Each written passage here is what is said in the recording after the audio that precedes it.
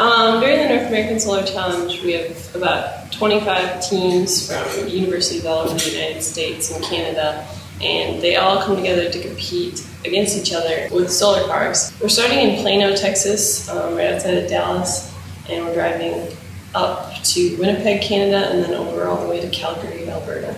Well, this is the ninth car that we've built. We started in 1989. It's made out of all carbon fiber in the body, but it's very lightweight. Um, this entire body only weighs about 90 pounds. The frame is made of aluminum, and that weighs about 55 pounds.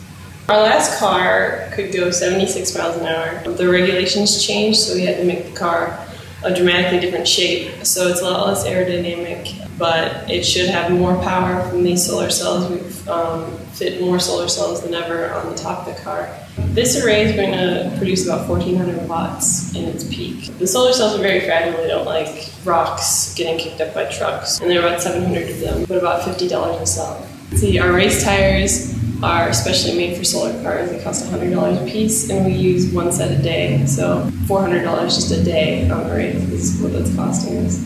A lot of the things during the year didn't go our way. We had a lot of delays with um, manufacturing and everything.